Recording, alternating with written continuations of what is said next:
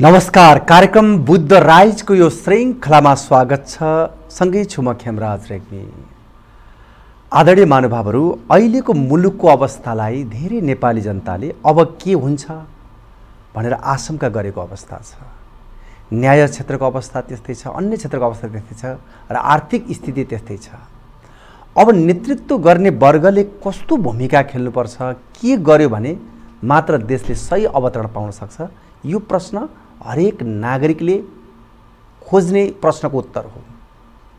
वास्तवमा न्याय क्षेत्रमा लामो समयदेखि काम गरेका व्यक्तित्वहरूलाई एकातर्फ कतै देश नै खतरामा जाने हो कि भन्ने खालको आशंका र चिन्ताको विषय छ। आज हामी लामो समयदेखि कानुन क्षेत्रमा काम गर्नुभएका न्याय क्षेत्रमा काम गर्नुभएका जो उच्च अदालत बार एसोसिएसन बुटबलका निवर्तमान अध्यक्ष र आउँदो जेठ छब्बिस र सत्ताइस गते डेमोक्रेटिक ल लयर्स एसोसिएसन नेपाल डिएलएले महाधिवेशन गर्दैछ। त्यो पनि चितवनमा। त्यसका लागि केन्द्रीय उपाध्यक्षका दावेदार। हामीसँग हुनुहुन्छ। जोग बहादुर खत्री आउनुहोस् यो कार्यक्रममा। म उहाँलाई स्वागत गर्छु। हार्दिक स्वागत छ। धन्यवाद आराम छ? आराम छ लामो समयदेखि तपाईँ न्याय क्षेत्रमा काम गर्नुहुन्छ कि? बहस पैरवी गर्नुहुन्छ।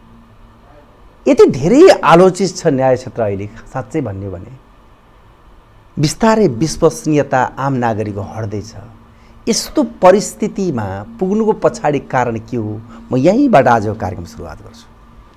यहाँले उठान गर्नुभएको जुन विषयवस्तु हो न्यायपालिका न्याय भनेको चाहिँ मानिसको नागरिकको चाहिँ अन्तिम आशा र एउटा विश्वासको चाहिँ केन्द्र हो र त्यो न्यायपालिकाबाट सम्पादन गरिने चाहिँ जुन न्याय सम्पादनको कार्यहरूमा कुनै पनि किसिमको आलोचना हुनु अथवा चाहिँ विरोध हुनु हुँदैन भन्ने मान्यता राखिन्छ। तथापि यसलाई चाहिँ दुईवटा तरिकाबाट हेर्नुपर्छ। आम रूपबाट चाहिँ न्यायालयमा जाने मुद्दा मामिलाको रोहमा अदालतले सम्पादन गर्ने न्याय चाहिँ के भन्दाखेरि एउटा व्यक्ति व्यक्ति बिचको सम्बन्धको विवादको विषयको निरूपण गर्छ। त्यसमा स्वाभाविक रूपमा एउटा पक्षले जित्छ र अर्को पक्षले हार्छ र हार्ने पक्षले स्वाभाविक रूपमा त्यसमा असन्तुष्टि जाहेर गर्ने विषय चाहिँ त्यसलाई चाहिँ हामीले सामान्य रूपमा लिनुपर्छ। तर त्यही विषयलाई अर्को पार्टबाट चाहिँ हेर्ने अदालतले चाहिँ न्याय सम्पादन गर्ने विषय जुन चाहिँ सामाजिक चाहिँ विषयसँग अथवा चाहिँ समाजका मुद्दासँग चाहिँ अथवा चाहिँ यसलाई अब सबैको सरोकारको विषय अझ यसलाई चाहिँ भनौँ अब यो सार्वजनिक हितको विषयमा सम्म संलग्न रहेका त्यस्ता किसिमका विषयहरूमा न्याय सम्पादन गर्दाखेरि कहिलेकाहीँ न्यायपालिकाले गरेका निर्णयहरू विवादित बन्न गएका छन्। त्यसले गर्दाखेरि ती कुराहरूमा एउटै विषय प्रकृति जस्ता लाग्ने तर फरक फरक किसिमको निर्णय भयो भने त्यहाँ चाहिँ नागरिकको न्यायका सेवाग्राहीहरूको चाहिँ आशा र भरोसा चाहिँ गुम्न गएको जस्तो देखिन्छ। त्यो हुनुमा चाहिँ अब हामीले चाहिँ त्यसलाई न्याय सम्पादनका विभिन्न आयाम र प्रक्रियाहरूको बारेमा चाहिँ निहालेर हेर्दाखेरि यसलाई चाहिँ स्वाभाविक रूपमा बुझिन्छ। तर चाहिँ आम रूपबाट सर्वसाधारणले हेर्दाखेरि एउटै विषयमा यसमा यस्तो भयो अर्कोमा यस्तो भयो भनेर टिप्पणी पनि गर्ने गरिन्छ। त्यसलाई यसलाई गहिराइमा नभइसम्म चाहिँ अब यसको चाहिँ उत्तर चाहिँ हामीले त्यसरी चाहिँ खोज्न जस्तै जोगबहादुरजी मैले खास अझ बुझ्न खोजेको कुरा के हो भने राजनीति हरेक नागरिकलाई आवश्यकता छ। कसैले कसैप्रति आस्था राख्नु विश्वास राख्नु उसको आफ्नो धर्मको कुरा हो। तर समग्र प्रणालीलाई नै जोडेर राजनीति गर्नु राजनीति भागभन्डा गर्नुले न्याय क्षेत्र आलोचित भएको हो भनेर सजिलै भन्न सकिन्छ होइन? अब हाम्रोमा चाहिँ यहाँले जोड्नुभएको राजनीतिक र चाहिँ न्यायिक चाहिँ क्षेत्रको चाहिँ सवालमा म पहिलो राजनीतिक विषयलाई चाहिँ जोड्छु। अब सबै नीतिहरूको चाहिँ श्रेष्ठ नीति भनेको राजनीति हो र राजनीति चाहिँ मूलधारको राजनीतिले चाहिँ राम्रो चाहिँ बाटो पक्रियो भने राजनीतिको जुन चाहिँ एउटा मूल स्पिरिटमा चाहिँ राजनीति गयो भने हुनाले त्यसमा चाहिँ कुनै सेवा भाव बाहेक राष्ट्र सेवाको भाव बाहेकको राजनीति चाहिँ त्यसमा रहेन स्वार्थको राजनीति भएन भने त्यसमा चाहिँ शुद्ध रूपबाट राजनीति गऱ्यो भने त्यसले चाहिँ त्यसबाट चाहिँ उत्पादन हुने चाहिँ सबै आयामहरू के हुन्छ नि राम्रो राम्रो तरिकाबाट चाहिँ उत्पादन हुन्छ त्यसको चाहिँ परिणाम पनि राम्रो सकारात्मक रूपमा देखिन्छ। तर हामीमा चाहिँ भएको राजनीति के हो भने स्वार्थ प्रेरित राजनीति र सत्ता प्रेरित राजनीतिको कारणबाट चाहिँ राजनीतिले चाहिँ गलत चाहिँ दिशा चाहिँ बोकिरहेको छ र त्यसको अपभोजनमा चाहिँ न्यायालय पनि परेको छ र त्यो भनेको चाहिँ अहिले खास गरिकन उच्च अदालतका न्यायाधीशहरू र सर्वोच्च अदालतका न्यायाधीशहरूको नियुक्ति प्रक्रियामा विगत केही समयदेखि हुन त पञ्चायतकालमा पनि राजाले नियुक्ति गर्थे राजाको सिफारिसमा चाहिँ त्यसरी चाहिँ नियुक्ति गर्ने परिपाटी थियो। त्यतिखेर पनि न्याय चाहिँ पाइन्छ भन्ने विश्वास थियो। पञ्चायतको विरुद्धमा पनि तत्कालीन अवस्थाका न्यायाधीशहरूले निर्णय गर्थे। त्यस्तो ल्याकत राख्ने चाहिँ न्यायाधीशहरू पनि थिए। जो राजाबाटै नियुक्ति भएका थिए तर राजाबाट नियुक्ति भइकन पनि राज संस्थाको चाहिँ विरुद्ध अथवा चाहिँ राजा त्यो तत्कालको अवस्थाको पञ्चायती व्यवस्थाको विरुद्धमा पनि गरेका फैसलाहरू चाहिँ छन्। तर यो छ्यालिस सालको परिवर्तनपछि चाहिँ जुन तरिकाबाट चाहिँ न्यायालयमा खास गरिकन उच्च अदालत र सर्वोच्च अदालतमा नियुक्ति गर्ने न्यायाधीशहरू चाहिँ जाने परिपाटी भयो। खास गरिकन अब यो एउटा चाहिँ न्यायाधीशहरू जो तल्लो न्याय सेवामा काम गरेका जिल्ला अदालतमा काम गरेका चाहिँ न्यायाधीशहरूलाई चाहिँ एउटा चाहिँ तरिकाबाट लैजाने र अर्को कानुन व्यवसायहरूलाई पनि चाहिँ न्यायपालिकामा लैजाने अथवा न्यायाधीश नियुक्ति गर्ने चाहिँ बाटो चाहिँ सुरु भयो। त्यो सुरु गर्दाखेरि जुन चाहिँ नियुक्तिको प्रक्रियामा राजनीतिक व्यक्तिहरू अथवा चाहिँ राजनीतिमा स्वार्थ भएका व्यक्तिहरू पनि चाहिँ नियुक्ति हुन थाले। त्यसको दुष्परिणाम चाहिँ अहिले चाहिँ खास गरिकन न्यायालयमा देखियो छ। त्यसैले जो राजनीतिक रूपमा चाहिँ बढी रूपमा चाहिँ सक्रिय छ त्यसको चाहिँ नेक चाहिँ योग्यताभन्दा पनि राजनीतिक योग्यताको आधारबाट चाहिँ नियुक्ति भएका व्यक्तिहरू जब चाहिँ न्यायाधीशहरू चाहिँ बन्न बन्ने प्रक्रिया चाहिँ सुरु भयो। त्यहाँनिरबाट चाहिँ यो न्यायमा पनि यता कता चाहिँ त्यसको प्रभाव परेको भन्ने कुरा चाहिँ आउन लाग्यो टिका टिप्पणी पनि हुन लाग्यो। यता कता त्यस्तो किसिमका फैसलाहरूमा पनि त्यसको गन्धहरू देखिन थाल्यो र त्यसैले हजुरले भने जस्तै आम रूपबाट चाहिँ नागरिकहरूको बुझाइ आम नेपाली जनताहरूको बुझाइमा पनि केही हदसम्म चाहिँ सत्यता छ कि भनेर चाहिँ हामीले गम्भीर रूपबाट चाहिँ विश्लेषण एउटा विषय खास गरी अहिले दुईवटा विषयले साह्रै नै बजार तातिरहेको छ खास। तपाईँ एनालाइज गर्नुभएको छ। एकदमै भ्रष्टाचार मुद्दा र त्यो विषय पनि छाया पारेको छ। एउटा रेशम चौधरीको रिहाई अर्कोतर्फ चाहिँ तपाईँको नागरिकता विधेयक। यो विषय राम्रोसँग जनताले बुझ्न सकेनन् जान्न सकेनन्। यसको वास्तविकता के हो खास? यसलाई जान्न र बुझ्नको लागि बुझाउने कुरा चाहिँ राज्यको दायित्व हो। अब जुन चाहिँ यहाँले जोड्नुभएको दुईवटा इस्यु छ त्यो एउटा चाहिँ पहिलो आम माफीसँग सम्बन्धित रहेको विषय हो जो भर्खरै चाहिँ जिल्ला अदालतबाट उच्च अदालतबाट र चाहिँ सम्मानित सर्वोच्च अदालतबाट जन्मकैदको सजाय पाएका एकजना चाहिँ व्यक्ति कसोरदारलाई चाहिँ नेपाल सरकारको सिफारिसमा सम्मानित राष्ट्रपतिज्यूले भर्खरै चाहिँ आम माफी दिनुभएको छ।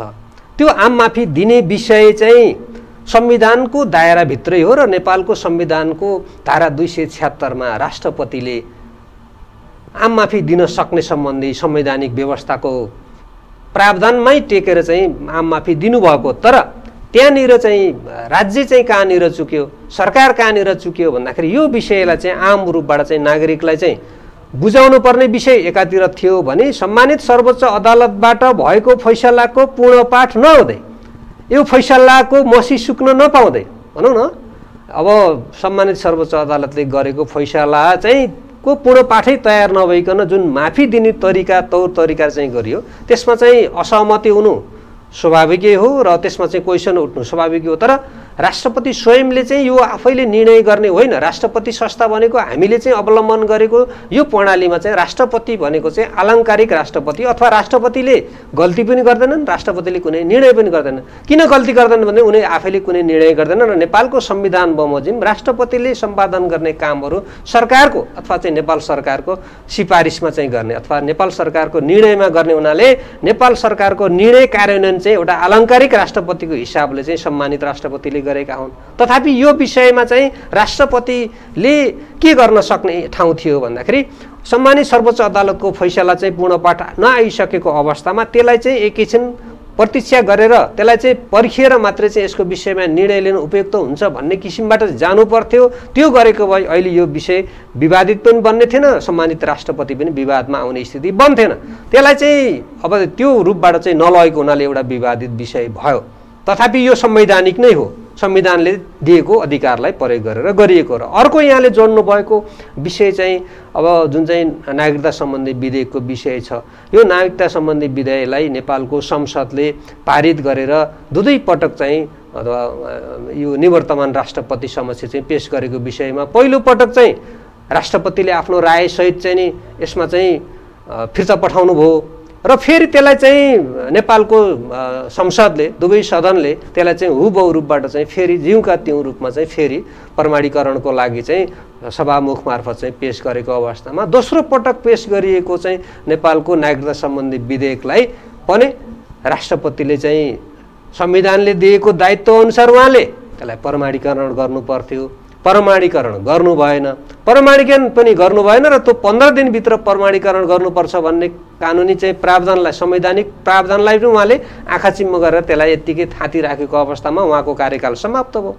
समाप्त भइसकेपछि त्यो विधेयकको हैसियत के भने त्यो विधेयक यथावत रूपबाट पारित हुन सक्छ कि सक्दैन त्यो अब त्यो पूर्व चाहिँ विधेयकलाई चाहिँ प्रमाणीकरण गर्न राष्ट्रपतिले मिल्छ कि मिल्दैन भन्ने सम्बन्धमा संवैधानिक रिक्तता थियो। त्यसको विषयमा चाहिँ अलि वृहत रूपबाट चाहिँ छलफल गरिकन त्यसलाई चाहिँ अब पारित गर्दाखेरि राम्रै हुने थियो। अहिले पारित गरेको चाहिँ त्यो कुयाममा चाहिँ प्रमाणीकरण भयो राष्ट्रपतिज्यूबाट। कि नेपालको प्रधानमन्त्री भारतको भ्रमणको निमित्त जाने दिन नै हठाट गरेर चाहिँ त्यसलाई चाहिँ प्रमाणीकरण गर्दाखेरि यो नेपालको नागरिकता विधेयक चाहिँ नेपालीहरूको चाहना अनुसार नेपाल सरकारको चाहना अनुसार यो विधि सम्मत तरिकाले भएन यो कसैको इसारामा गरियो कि भन्ने नागरिकहरूको जुन चाहिँ आशङ्का छ नि त्यो आशङ्कालाई चाहिँ त्यो काकतालीले चाहिँ ती व्यवहारहरूले चाहिँ कता कता चाहिँ अलिकति अन्यल सिर्जना गरेको क्वेसन माग चाहिँ सिर्जना संवैधानिक जटिलताका कुराहरू यसरी राष्ट्रपतिले पारित गर्न हुन्थेन भन्ने कुरा उठ्छ। खास कानुनमा के छ यो विषय?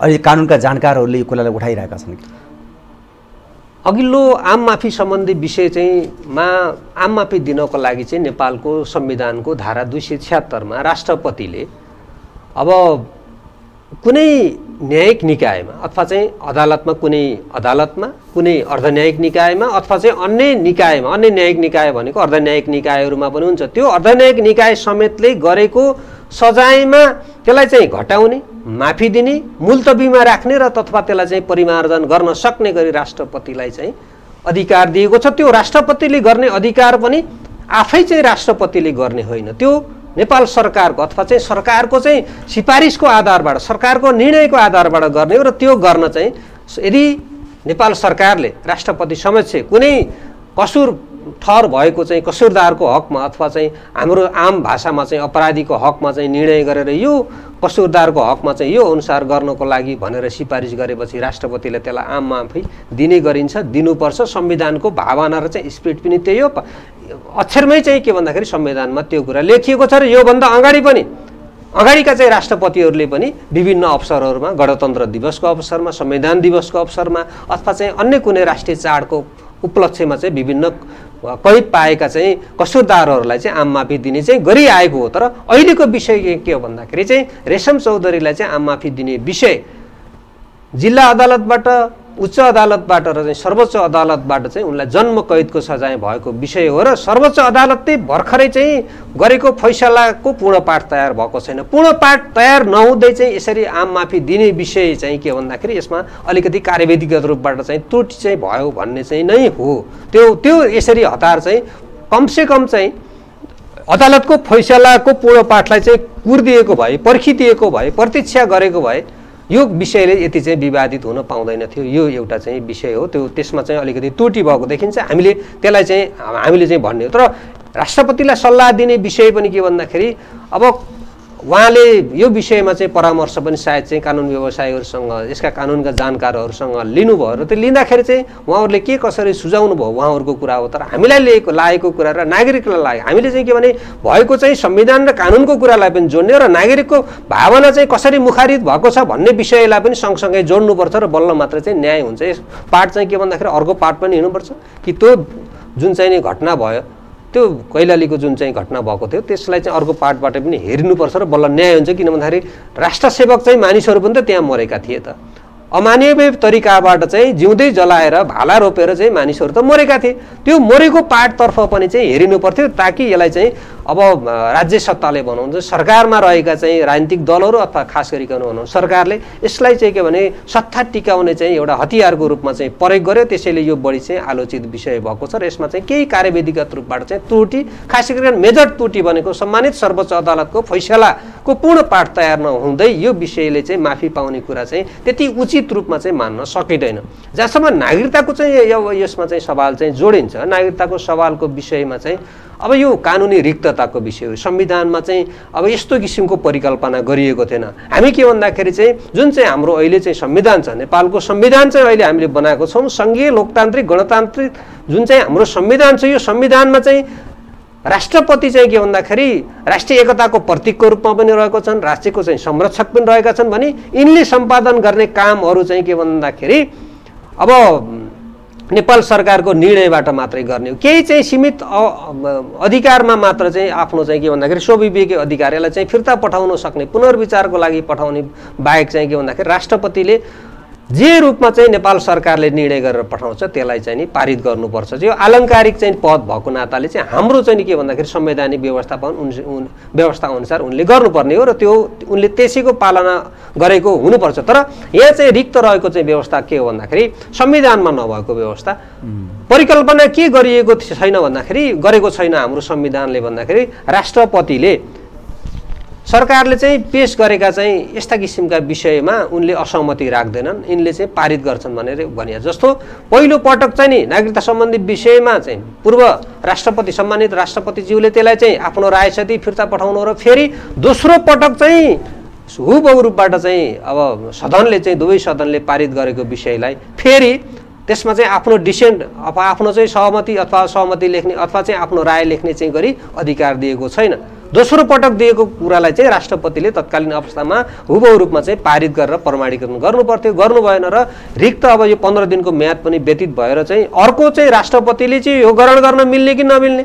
अघिल्लो सदनले फेरि यहाँ चाहिँ राष्ट्रपति मात्रै चाहिँ नि परिवर्तन भएको होइन।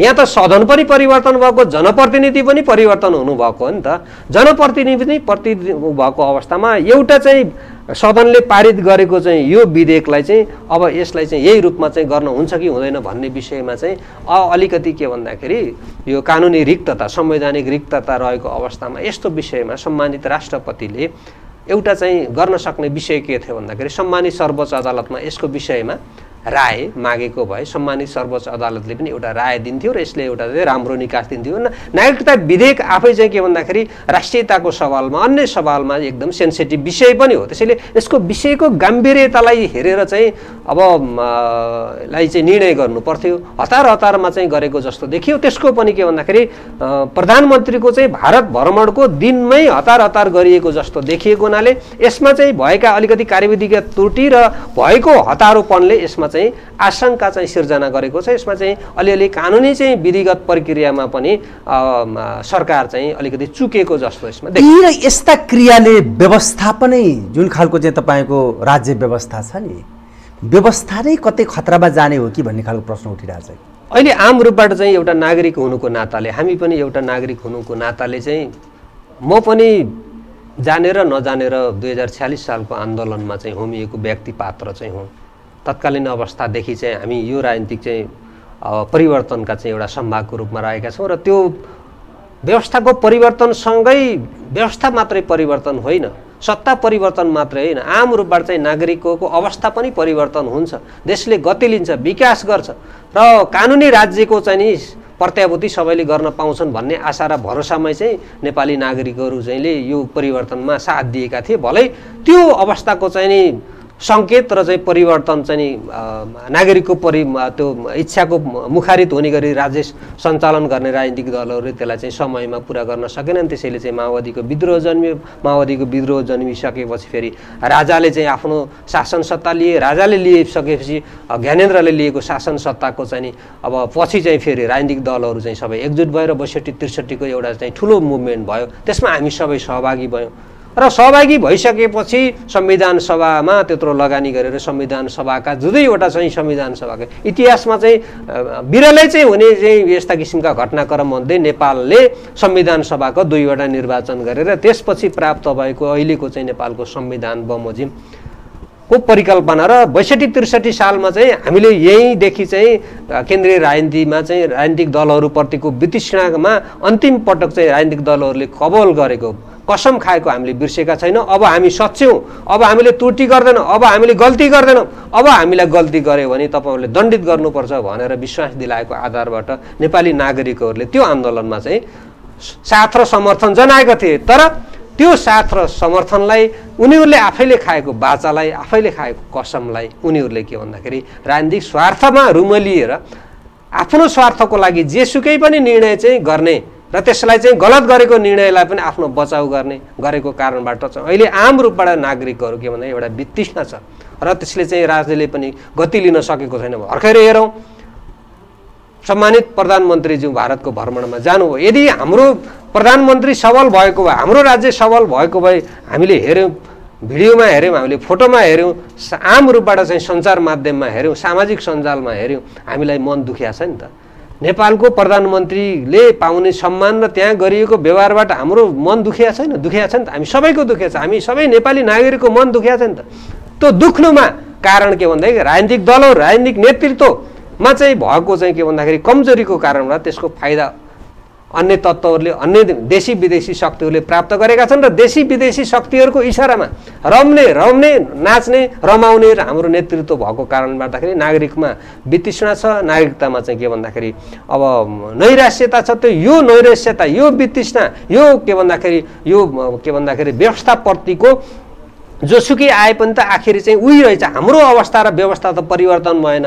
नेताहरूको मात्रै अवस्था र व्यवस्था परिवर्तन हुने व्यवस्था हामीले चाहेका होइनौँ। त्यसैले हामीलाई यस्तो किसिमको व्यवस्था चाहिएन भनेर चाहिँ भन्ने जमात पनि चाहिँ के भन्दाखेरि नागरिकहरूको जमात पनि बढेको छ। यो हाम्रो यो लोकतान्त्रिक व्यवस्थाको लागि चाहिँ राम्रो कुरा होइन। अहिले संसारमा लोकतन्त्रको विकल्पको रूपमा अर्को राम्रो लोकतान्त्रिक व्यवस्था चाहिँ जन्मिएको प्रतिपादित भएको छैन। त्यसैले यसैलाई हामीले मलजल गर्नुपर्छ यसैलाई अँगाउनुपर्छ खराबीलाई चाहिँ निर्मूल गर्नुपर्छ र यसमा चाहिँ उदारतापूर्वक मूलधारका राजनीतिक दलहरूले अब समयमै धेरै अब समय नेपाली नागरिकहरूले नेपाली जनताले प्रतीक्षा गर्ने अवस्थामा छन् जस्तो मलाई लाग्दैन हामीलाई लाग्दैन। त्यसैले परिवर्तन व्यवस्था राम्रो छ तर त्यसलाई हाँक्ने रथीहरूले शैली राम्रो अप्नाएनन् भन्ने तर्क तपाईँको हजुर।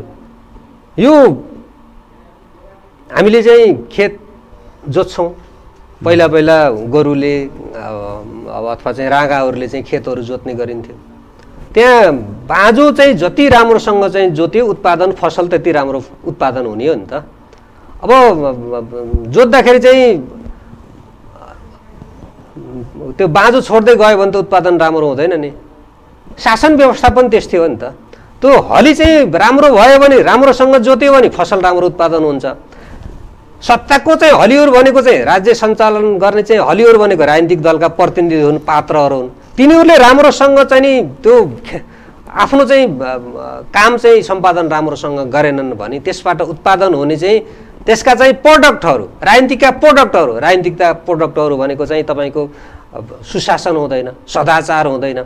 शासन व्यवस्थामा चाहिँ के भन्दाखेरि राम्रो हुँदैन भ्रष्टाचारले चाहिँ हुन्छ रुल अफ ल अथवा चाहिँ हामी कानुनको शासन बन्छौँ जे कुरा चाहिँ कानुन बमोजिम गर्नुपर्छ त्यसलाई चाहिँ कानुन बमोजिम गर्ने। जे कुरा कानुन बमोजिम गर्नु हुँदैन त्यसलाई कानुन बमोजिम नगर्ने परिपाटीको विकास चाहिँ आम रूपबाट स्वस्फूर्त रूपबाट चाहिँ हुनुपर्नेमा यहाँ चाहिँ सत्ता र शक्तिको आडमा जस्तासुकै जगन्ने अपराध पनि गर्ने त्यसबाट उन्मुक्ति प्राप्त गर्ने। राज्य शक्तिको सत्ताको चाहिँ आडमा जस्तासुकै ठुला जगन्ने भ्रष्टाचारजन्य कार्यहरू गर्ने र त्यसलाई चोख्याउने गरेको कारणबाट एकपछि अर्को गर्दै गरेका यस्ता कारणहरूबाट राजनीतिक दलहरू पनि बदनाम भए।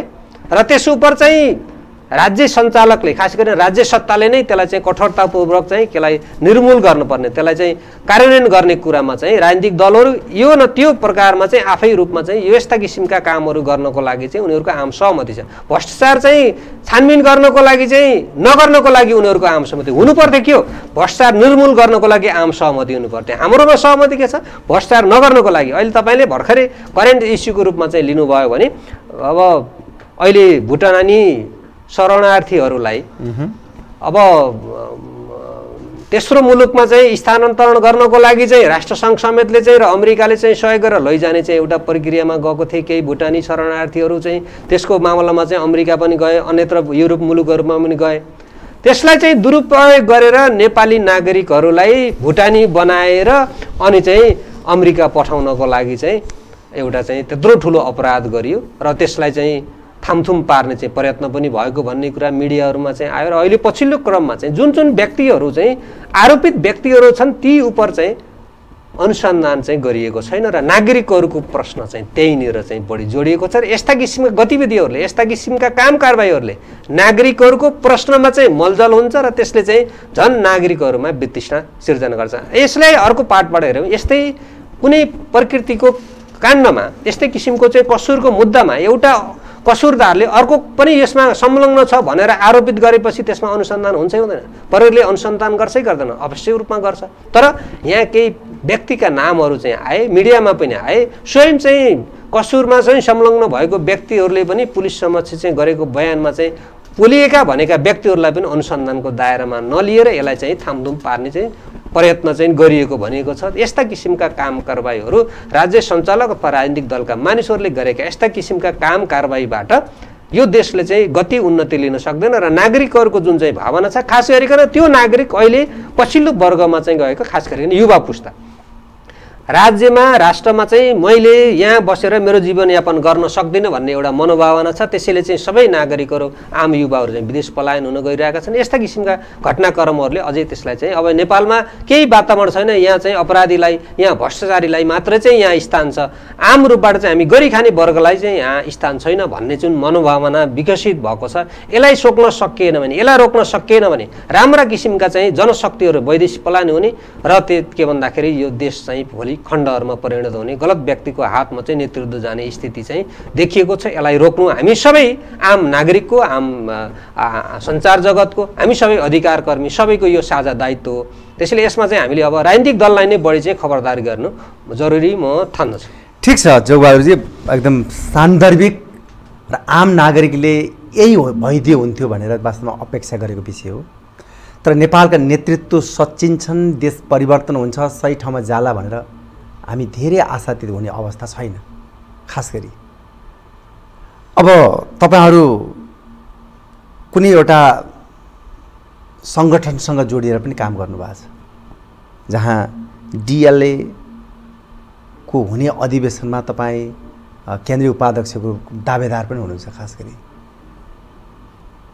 उपाध्यक्षमा यहाँका तपाईँको पेसासँग जोडिएका नागरिकले तपाईँलाई रोज्नै पर्ने के छ खास कारण? किन चाहियो वास्तवमा जोगबहादुर? अब यो विषय प्रसङ्गमा यहाँले बडो सान्दर्भिक चाहिँ यो एउटा विषय चाहिँ उठान गर्नुभएको छ। मलाई यसरी यो समसामयिक चाहिँ विषयमा कुरा गर्ने अवसर पनि दिनुभयो। त्यसोको अतिरिक्त चाहिँ मलाई यो फरममा चाहिँ मेरो व्यक्तिगत रूपबाट चाहिँ म अहिले निर्वाचनमा हुमिएको विषय पनि यसमा जोड दिनुभएको छ। म त्यसलाई यहाँलाई चाहिँ धेरै धेरै धन्यवाद दिन चाहन्छु। DLA Nepal democratic lawyer association भन्ने चाहिँ एउटा संस्था छ। यो प्रजातान्त्रिक चाहिँ विचारधारा राख्ने कानुन व्यवसायहरूको एउटा छाता सङ्गठनको रूपमा रहेको छ र यसको चाहिँ केन्द्रीय महाधिवेशन अहिले आउने जेठको छब्बिस र सत्ताइस गते चितवनको टाँडीमा चाहिँ हुँदैछ र त्यो चुनावमा मैले केन्द्रीय उपाध्यक्षको रूपमा चाहिँ उम्मेदवारी आफूले बन्ने चाहिँ इच्छा प्रकट गरिराखेको छु र यो केन्द्रीय महाधिवेशन हो र यो लुम्बिनी प्रदेशको तर्फबाट म प्रतिनिधित्व गर्ने भएको हुनाले लुम्बिनी प्रदेशको यो अध्यक्षको रूपमा चाहिँ रहने पद र केन्द्रमा चाहिँ उपाध्यक्षको रूपमा रहने यो दुई पदको रूपमा चाहिँ रहने एउटा चाहिँ पद रहेको छ। अब यसमा मैले चाहिँ मेरो पेसासँग जोडिने र विषयलाई चाहिँ मैले सम्बोधन गर्ने विषय चाहिँ के भन्दाखेरि खास गरिकन हामी कानुन व्यवसायीसँग मैले अगाडि सुरुमा पनि यहाँलाई चाहिँ अलिकति जोडेको थिएँ। त्यो विषय के भन्दाखेरि एउटा प्रत्यक्ष रूपबाट व्यक्ति व्यक्तिको विषयसँग सम्बन्धित रहेको चाहिँ नि विवादका विषयहरू हामीसँग जोडिन्छन् र त्यसमा हामीले न्याय सम्पादनको काम गर्छौँ त्यसमा एउटा पक्षले जित्छ अर्को पक्षले हार्छ त्यो चाहिँ एउटा चाहिँ विषय प्रक्रिया चाहिँ भयो। र हामीसँगै अर्को जोडिने विषय के भने सार्वजनिक सरोकारका विषय र आम रूपबाट चाहिँ समाजलाई चाहिँ प्रभाव पार्ने विषयहरू पनि हामी कानुन व्यवसायले कहिलेकाहीँ निरूपण गर्नुपर्ने त्यसमा सम्पादन गर्नुपर्ने कहिलेकाहीँ सल्लाह दिनुपर्ने। हुन्छ। हामी त्यसैले हामी समाजका अवैधानिक चाहिँ के भन्दाखेरि कानुनी सल्लाहकार पनि हो। कसैले सामाजिक प्रयोजनको निमित्त सामाजिक लाभको लागि चाहिँ कानुनी विषयमा परामर्श दियो भने हाम्रो त्यसमा चाहिँ आफूले जानेको नलेज कानुन र संविधान संविधान र कानुन बमोजिम हामीले परामर्श दिनु हाम्रो दायित्व पनि हो। त्यसैले अन्य पेसाभन्दा चाहिँ हाम्रो पेसालाई चाहिँ फरक ढङ्गले चाहिँ हामीले हेर्छौँ र त्यो के भन्दाखेरि अब कुनै राजनीतिक क्राइसिस भयो यसमा चाहिँ कानुनी जटिलता भयो भने त्यो फर्केर चाहिँ क्वेसनको जवाब दिनुपर्ने चाहिँ पङ्क्तिमा चाहिँ हामी जान्छौँ र खास गरिकन अहिले अब सबै क्षेत्रमा चाहिँ के भन्दाखेरि एउटा एउटा दल विशेषसँग चाहिँ सम्बद्ध आबद्ध भएर चाहिँ सङ्गठनहरू निर्माण गर्ने र त्यसैले सरकार जसको छ आफ्नो सरकार निकटको चाहिँ आफूले मन पर्ने अथवा आफू सम्बद्ध रहेको चाहिँ संस्थाको चाहिँ सरकार छ भने त्यसले गरेका जतिसुकै गैर कानुनी गैर संवैधानिक कार्यलाई पनि आँखा चिम्मो रूपमा हामीले त्यसलाई चाहिँ समर्थन गर्ने।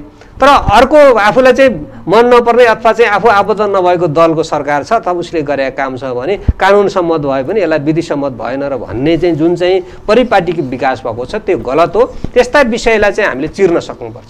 सहीलाई सही र गलतलाई गलत गुण र दोषको आधारबाट हामीले चाहिँ आफ्नो स्वतन्त्र विचार दिनुपर्ने हुन्छ र त्यो गर्न सकियो भने मात्र कानुन व्यवसायीको हाम्रो पनि प्रतिष्ठा मान प्रतिष्ठा बढ्ने कुरा हुन्छ। हामीप्रतिको चाहिँ क्रेज पनि बढ्ने हुन्छ र त्यसले चाहिँ सही रूपमा चाहिँ यसले के भन्दाखेरि गन्तव्यमा पनि हामीले पुर्याउन सक्छौँ। हुन त तपाईँ अधिवेशनमा जाँदै हुनुहुन्छ तपाईँ आफै उम्मेदवार हो खास गरी। कानुन क्षेत्रमा काम गर्ने व्यक्ति तपाईँ आम नागरिकलाई न्याय दिलाउनुपर्छ भन्ने मनोभावले काम गर्नुहुन्छ।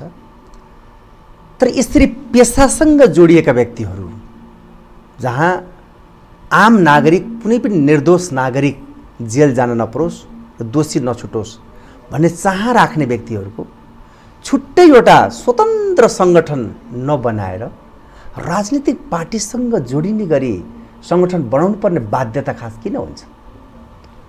यहाँले भने जस्तै समग्र चाहिँ कानुन व्यवसायीहरूको छाता सङ्गठनको रूपमा चाहिँ नेपाल बार एसोसिएसन रहेको छ र सबै जिल्ला अदालतहरू सबै तहका त्यसैसँग जोडिए पुग्दैन र भन्न सबै तहका अदालतहरूमा चाहिँ नेपाल बार एसोसिएसनको चाहिँ युनिटहरू रहेको छ र त्यसैबाट पनि कानुन व्यवसायीले आफ्नो चाहिँ पेसा गर्न सक्ने न्यायका सेवाग्राहीहरूलाई चाहिँ सेवा प्रदान गर्न सकिन्छ। त्यसमा कुनै चाहिँ बाधा छैन र छुट्टै चाहिँ सङ्गठनको औचित्य चाहिँ छ कि छैन भन्ने प्रसङ्गमा चाहिँ के भन्दाखेरि अब यो जुन चाहिँ राजनीतिक परिवर्तन छ्यालिस सालमा चाहिँ भयो यो छ्यालिस सालको परिवर्तनपछि एउटा चाहिँ रूपमा के भन्दाखेरि कुनै न कुनै दलसँग आबद्ध रहेर त्यसको निकटतामा चाहिँ सङ्गठन खोल्ने चाहिँ होड चल्यो र त्यसैको चाहिँ एउटा बिम्बको रूपमा चाहिँ अब यो नेपालको चाहिँ प्रजातान्त्रिक व्यक्तिहरू आबद्ध रहेको चाहिँ संस्थाको रूपमा पुरानो संस्था हो यो। डिआलए नेपाल डेमोक्रेटिक लयर्स ने एसोसिएसन नेपाल चाहिँ नेपालको पुरानो चाहिँ चाहिँ एउटा सङ्गठनको रूपमा रहेको छ।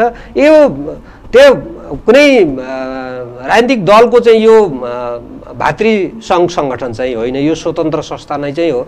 अब यसले भले यो सङ्गठनको निकटता कुनै राजनीतिक दलसँग होला तर चाहिँ यो कुनै भातृ सङ्गठन चाहिँ यो चाहिँ होइन। त्यसैले स्वतन्त्र नै हो। यसले गर्ने गतिविधिहरू खास गरिकन अब आफ्नो विचार मिल्ने चाहिँ व्यक्तिहरूको चाहिँ छुट्टै समूह चाहिँ बनाएर अब यसले चाहिँ गएको छ। र अब त्यसैले यसका चाहिँ गतिविधिहरू खास गरिकन यो बारको प्यारल चाहिँ गर्ने चाहिँ गतिविधि पनि यसले गर्दैन। त्यसैले बारलाई पनि सहयोग पुर्याउने गर्ने गतिविधि गरेको हुनाले अब यसलाई चाहिँ अब एउटा अब फोरमको रूपमा चाहिँ एउटा चाहिँ के भन्दाखेरि अब डेमोक्रेटिक लयर्सहरूको एउटा फोरमको रूपमा चाहिँ यसले युज गरेको छ र बुद्धि के अरे भने प्रजातान्त्रिक चाहिँ कानुन व्यवसायहरूले अब ती तिन वर्षमा अधिवेशन गर्ने त्यहाँ चाहिँ अब राजनीतिका कुराहरू कानुनका कुराहरू संविधानका कुराहरू समसामयिक विषयहरूमा चाहिँ त्यसलाई छलफल गरेर चाहिँ यसलाई चाहिँ अब एउटा नेतृत्व पनि परिवर्तन गर्ने र समसामयिक विषयहरूमा छलफल पनि गर्ने गर्छ। यसले अन्ततगत्ता यसले चाहिँ राजनीतिक प्रणालीलाई अब नेपालको संविधानलाई कानुनलाई पनि के भन्दाखेरि भर्तेक रूपमा चाहिँ सहयोग मिल्छ भन्ने मलाई लाग्छ। त्यसैले यो अरू यसको चाहिँ सङ्गठन चाहिँ नगराएको हुन्थ्यो भन्ने भन्दा पनि यसमा जे छ यसले चाहिँ लाभ नै गरेको छ यसले चाहिँ समग्र रूपमा तपाईँ उच्च अदालत बारको नेतृत्व लिइसकेका मान्छे हो खास गरी। तपाईँ त्योसँगै जोडिएर अगाडि जान सक्नुहुन्थेन भन्ने मेरो प्रश्न। यहाँले भन्नुभएको म उच्च अदालत बुटोल बारको अध्यक्ष पनि भइसकेँ त्यसैले यसको नेतृत्वको माथि जाने भनेको केन्द्रीय उपाध्यक्ष केन्द्रीय पदाधिकारी र अध्यक्ष बनेर जाने लाइन चाहिँ एउटा हो। त्यो बाटो चाहिँ पनि अब बाँकी नै छ। त्यो एउटा विषय चाहिँ रह्यो। अहिले चाहिँ अब त्यसबाट गएर पनि आफ्नो चाहिँ वैयक्तिक विकास गर्न सक्ने त्यसबाट चाहिँ आफूले केही दिन सक्ने नसकिने भन्ने कुरा होइन दिन चाहिँ सकिन्छ नै। त्यो सक्दा सक्दै पनि अब जुन चाहिँ प्रजातान्त्रिक व्यक्तिहरू चाहिँ संलग्न भएको प्रजातन्त्रवादी चाहिँ वकिलहरूको चाहिँ एउटा चाहिँ छाता सङ्गठनको रूपमा चाहिँ रहेको चाहिँ डिआले छ। त्यसको म एउटा चाहिँ मेम्बर भएको नाताले त्यसका महाधिवेशनमा चाहिँ संलग्न त्यसका गतिविधिहरूमा लाग्नु र यसको नेतृत्वमा गएर अहिले वर्तमानमा देखिएका चाहिँ विषयहरूलाई चाहिँ उठान गर्ने र आफूले योगदान दिने कुरालाई चाहिँ मैले उचित नै ठानेको छु र यो अधिवेशनमा मैले त्यही भएर नै चाहिँ लुम्बिनी प्रदेशको तपाईँ जित्नुहुन्छ चुनाव? अधिवेशनै भयो भने चुनावै भयो भने? हामीले चाहिँ पहिलो प्राथमिकता चाहिँ आपसी सहमति र भाइचारालाई लिएको छौँ र प्रतिस्पर्धा चाहिँ भने चाहिँ सकेसम्म निर्वाचनको विधिबाट चाहिँ हामीले जानुहुन्न भन्ने मान्यतालाई चाहिँ म पनि राख्छु र हाम्रो धेरै साथीहरू हाम्रो अग्रजहरू हुनुहुन्छ आदरणीय वरिष्ठ अधिवक्ताहरू हुनुहुन्छ अग्रज दाजुहरू हुनुहुन्छ उहाँहरूको सल्लाह र सहमतिमा हामी चल्ने हो। तथापि यो के भन्दाखेरि यो नेतृत्व यो पदमा चाहिँ गएर मैले चाहिँ जित्ने आधारहरू भनेको म उच्च अदालत बारको अ, जतिखेर चाहिँ अध्यक्ष भएको थिएँ त्यतिखेर चाहिँ मैले एउटा नेपाल यो बार एसोसिएसनको नेपाल बार एसोसिएसनको केन्द्रीय चाहिँ साधारण सभा र मानव अधिकार सम्बन्धी सम्मेलन पनि बुटोलमा पहिलोपटक चाहिँ सफलतापूर्वक चाहिँ सम्पन्न गरिसकेको चाहिँ छु। अब त्यो चाहिँ एउटा मेरो अनुभव पनि छ। र अर्को कुरा चाहिँ यो बुटोल बारमा चाहिँ रहेर विभिन्न गतिविधिहरू चाहिँ बुटोललाई चाहिँ हो बारका गतिविधिहरूलाई चाहिँ समाजसम्म र चाहिँ अलि फराकिलो तरिकाले चाहिँ विभिन्न कामहरू र रचनात्मक काम गरेको छु। जो त्यो मेरो इतिहास भएको छ त्यो इतिहास चाहिँ इतिहासले नै मूल्याङ्कन गर्ने मैले राम्रो गरेँ मभन्दा राम्रो छैन अरू भन्ने होइन।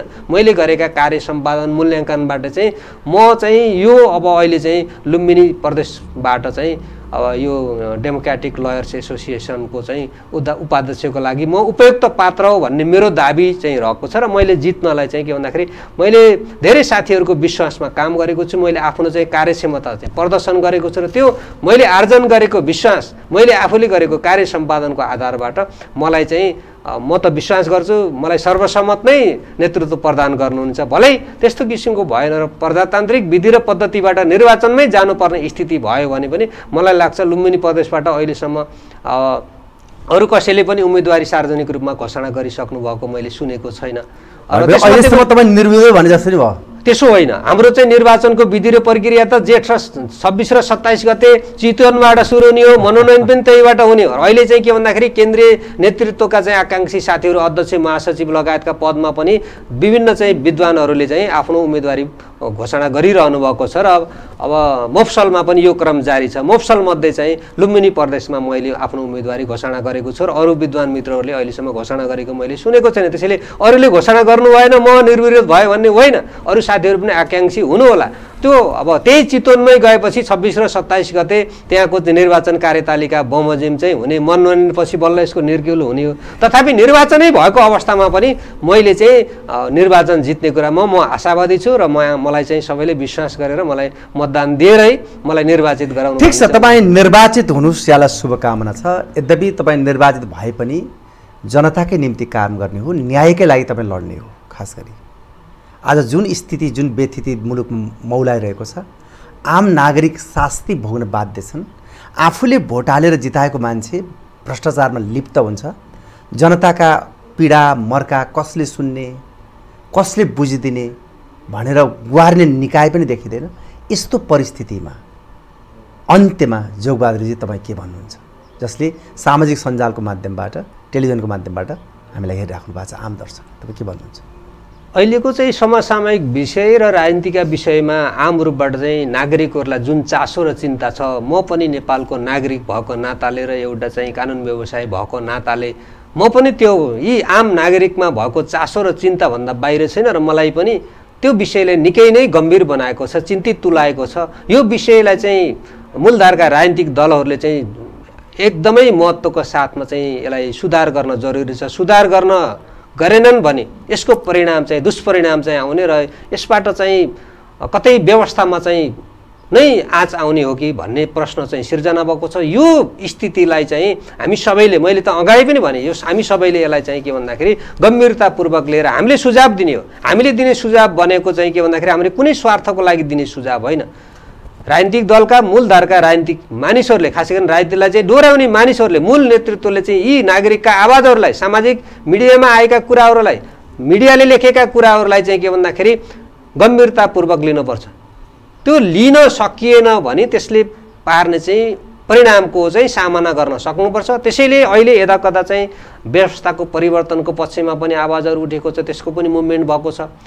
अब भर्खरै चाहिँ उदाएका दलहरूले पनि अप्रत्याशित रूपबाट नतिजा प्राप्त गरेका छन्। यो के भन्दाखेरि जनताको विद्रोहको रूपमा चाहिँ यसलाई चाहिँ हामीले बुझ्नुपर्छ र यो विद्रोहलाई सम्बोधन गर्ने चाहिँ भनेको राजनीतिक दल र सरकारले हो। सरकारले यसको सम्बोधन उचित रूपमा चाहिँ उचित समयमा गर्न सकेन भने यो जनताको चाहिँ विश्वासको बाँध चाहिँ फुट्यो भने त्यसले एउटा विस्फोटको रूप लिन्छ र त्यसले चाहिँ अन्ततगत राजनीतिक गतिरोध उत्पन्न हुने राजनीतिमा नै फेरबदल उत्पन्न हुन सक्ने र देशलाई नै त्यसको यो व्यवस्थाको चाहिँ नै खतरा उत्पन्न हुन सक्ने स्थिति छ।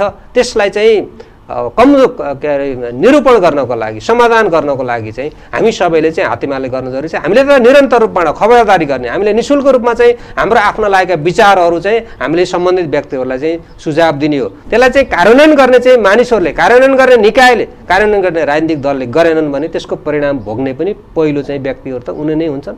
त्यसको चाहिँ दुष्परिणाम चाहिँ नागरिकहरूले पनि भोग्नुपर्छ। यो स्थितिबाट चाहिँ मुलुकले निकास पाओस् भन्ने चाहिँ हामीले कामना मात्र गर्न सक्छौँ। अहिले मूलधारका राजनीतिक दलहरूको काम कारबाही र गतिविधिबाट उनीहरू सचेलन र यिनीहरूले चाहिँ चाँडै हाम्रो नागरिकहरूको इच्छा अनुसारको काम गर्न सक्छन् जस्तो मलाई पनि आफूलाई विश्वास लागेको छैन। त्यसैले अब एउटा हामीले चिन्ता जाहेर मात्रै गर्ने हो हामीले गर्न सक्ने स्थिति केही पनि छैन।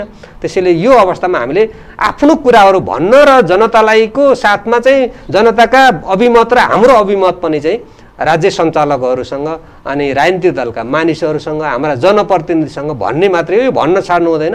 त्यसो गर्दाखेरि एक दिन चाहिँ उनीहरूको घैटोमा पनि घाम लाग्ला र समग्र रूपमा राजनीतिक व्यवस्थाको स्थिरता होला सुशासन होला। भ्रष्टाचार चाहिँ निर्मूल भएर यो राज्यले एउटा चाहिँ समुन्नत चाहिँ राम राज्यको परिकल्पना भन्छ नि आइडल स्टेटको रूपमा चाहिँ नेपाल चाहिँ अगाडि बढ्ला भन्ने आशा गरौँ। यति आशा गर्न सकिन्छ योभन्दा बढी अहिले हामीले केही गर्न सक्ने स्थिति हामीसँग छैन। महत्त्वपूर्ण समय दिनुभयो यहाँलाई विशेष धन्यवाद र सँगसँगै चुनाव जित्नुहोस् जितिसकेपछि फेरि संवाद गर्ने मौका मिलोस्। यहाँलाई धेरै धेरै शुभ यो अवसरको निम्ति यहाँलाई पनि धेरै धेरै धन्यवाद। छ आदरणीय दर्शक महानुभाव आज हामीले कुराकानी गऱ्यौँ उच्च अदालत बार एसोसिएसन बुटवलका निवर्तमान अध्यक्ष र सँगसँगै चितवनमा आउँदो जेठ छब्बिस र सत्ताइस गते डिएलए नेपालको केन्द्रीय महाधिवेशन हुँदैछ। त्यसको केन्द्रीय उपाध्यक्षका दावेदार जोगबहादुर खत्रीसँग कुराकानी गऱ्यौँ अधिवक्ता जोगबहादुर खत्री उहाँसँग यो कुराकानीसँगै प्रविधिमा साथ दिने भाइ नरेश अधिकारीलाई धन्यवाद दिँदै यो कार्यक्रमबाट म पनि आगे चाहन्छु। नमस्कार।